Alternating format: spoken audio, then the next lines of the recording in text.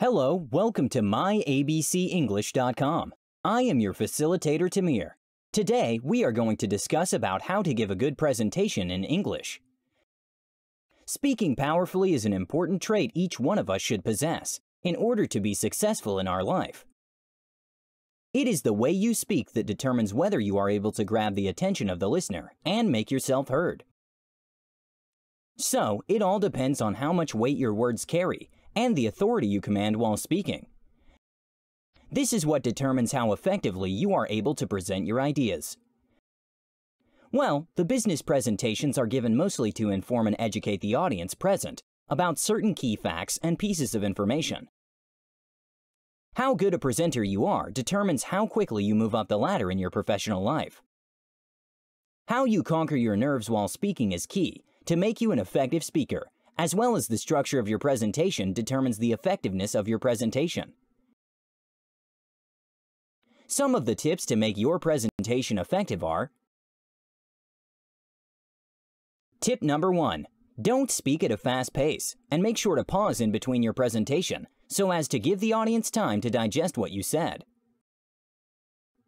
Tip number two, please make sure that you don't sound monotonous while speaking, with frequent changes in your intonation to make it sound more natural and the best way. Tip number three. It is advisable to move around the room in order to keep your audience engaged while you deliver the presentation, and frequently changing your eye contact is also very essential. Tip number four. Telling stories also helps in keeping the audience engaged with your presentation and keeps them pondering over the content.